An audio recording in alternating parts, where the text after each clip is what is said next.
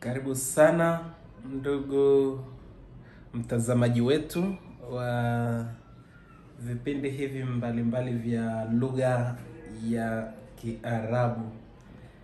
Naendelea kuwakaribisha tena na tena, tuendelee kujifunza zaidi na zaidi, kujipatia maarifa zaidi ya lugha hii. Uh, leo nawakaribisha tuweze kujifunza kuhusu kitu kinaitwa idhafa katika lugha ya Kiarabu. Kwa Kiingereza tunasema addition. Kwa Kiswahili ni kama kusema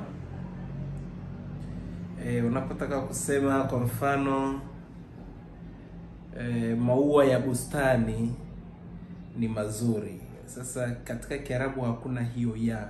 Kwa Kiingereza hakuna hiyo of. The flowers of the garden, hiyo of haipo.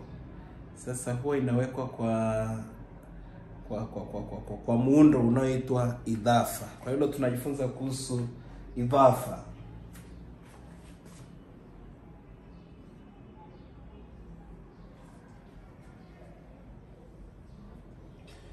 Al-idhafa. Al-idhafa.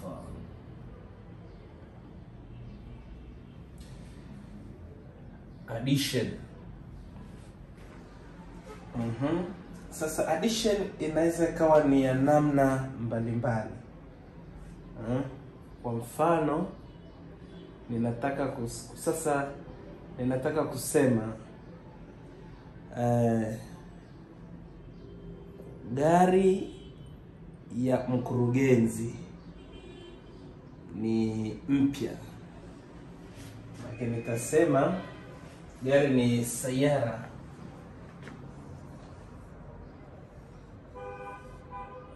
sayaratu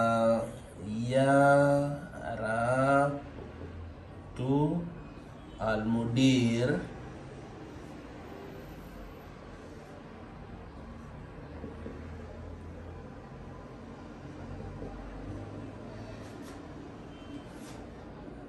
Is new jadidatun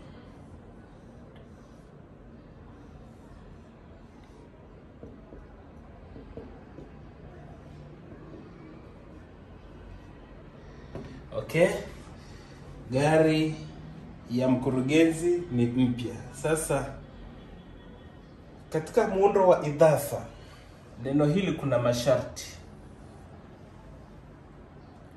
kuna masharti. Sharti la kwanza ni lazima liwe, neno hili la kwanza tunasema Kiingereza ni lazima liwe indefinite. Indefinite maana yake ni kama ninavyosema kwenye Kiingereza a book. Nikisema a book ni tofauti na kusema the book. Nikisema a book ni kitabu chochote, ni indefinite. Hii ni indefinite, ni kitabu chochote, kinaweza kikawa hapa au kikawa mahali pengine.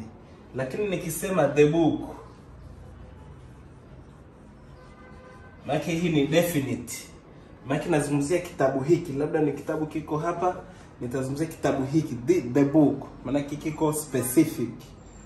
Sasa neno la kwanza katika idhafa lazima liwe indefinite, lisiwe specific.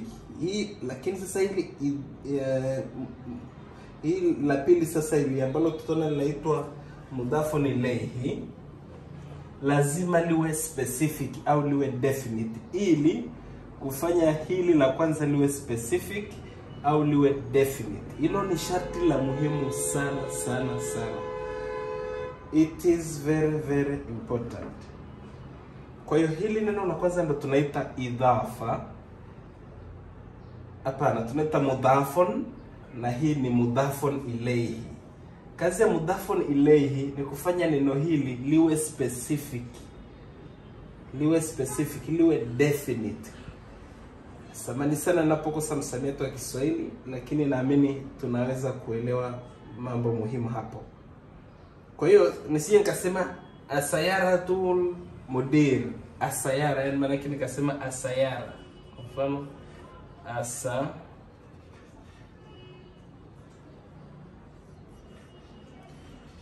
nisije kasema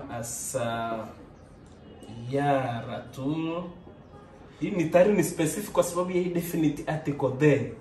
Kwa hiyo hakikisha kwamba hapa hakuna there, neno hili libaki nekira, maana yake liko nekira, tunasema nekira, nekiratun, nekira,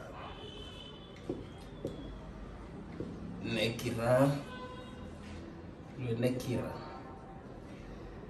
liwe indefinite, yani lisiwe specific. Hili hapa ndio liwe specific kwa maana ya kudefine zaidi eh, hili neno la kwanza. Na sharti la pili muhimu kabisa, sharti la pili muhimu sana sana sana, muhimu sana sana. Kwenye lugha ya Kiarabu tuna kitu kinaitwa tanwin. Tanwin, kwa mfano unaposema mudarison. Au unaposema bustani, hadikaton, hadikaton hadikaton. Hii inaitwa tanwin kutegemeana na cases. Kwenye Kiingereza tuna kitu kinaitwa uh, kuna kitu tunaita nominative case, genitive case, accusative case. Eh, hii ndio ile tunaita nominative case, maana yake itabeba dhama. Dhama mbili hizi zinaitwa tanwin, tanwin dhama, lakini inaweza ikawa ni hadika au inaweza ikawa ni hadik hadi Adi. hadikatan au naweza likuwa ni hadikatin hadikatin hadikatin. Hizi alama zinatofautiana kutokana na cases. Hiyo tunaita hali ya mtenda, mtendwa na kadhalika. Tutazidi kuelewa jambo hilo. Kwa hiyo neno hili la kwanza uhakikishe hakuna tanwini. Hilo jambo la maana kabisa, ndugu mtazamaji, kusiwe na tanwin, iwe tu hii moja. Sayaratul mudiri hmm? Sayaratul mudiri jadidatun. Manake hili kama tulivyozungumza kipindi kilichopita, manake ni mubtada, ni mubtada on marfua on walama turafa adhamatu. Okay, na hili idhafa hii ni ilayhi, hii mudhafun ilayhi. Lazima iwe kwenye majrur, lazima ishe na kasra, lazima iwe kwenye kasra. Kama neno hili linaba, linabadilika. Kwenye Kiarabu, kuna maneno aina mbili, tutaona kuna maneno kuna kuna kuna kuna maneno ambayo tunasema ni muarabun, muarab muarabun, alafu tuna maneno ambayo ni mabniyon mabniyon muarabun, yanabadilika, alafu kuna ambayo hayabadiliki, hayachukui alama wala hii wala hii, liko hivyo tu daima. Kwa mfano unaposema hii hoa. Hoa, utakuta eti imekuwa dhama au imekuwa kasra. Neno hili ni mabniyon, halibadiliki. Usio ukakuta kuna utaka ukute dhama hapa au kute kasra daima litaishia na fatha. Ili ni mamion ma b ni yon, halibadiliki. Lakini hili limeishia na kasra hapa, almudiri, maanake ni muarabun, maanake linabadilika. Kwa hiyo neno ambalo linabadilika likitumika katika modhafuni lei lazima liwe kwenye majrur, liishie na kasra. Taib, hiyo ni jambo la maana sana. Kwa hiyo katika hili neno la kwanza mudhafun, mudhafun lazima uhakikishe kwamba hamna tanwin, ni jambo la maana. Na hii kama neno la kubadilika ni morabun, basi tuhakikishe kwamba limeishia na, na limeishia na, na, na na kasra. Sayaratul jadidatu, hiyo ni sehemu ya kwanza. Sasa kipindi kinachofuata tutaingia sasa kwenye aina ya pili ya ya mudhafun ilayhi.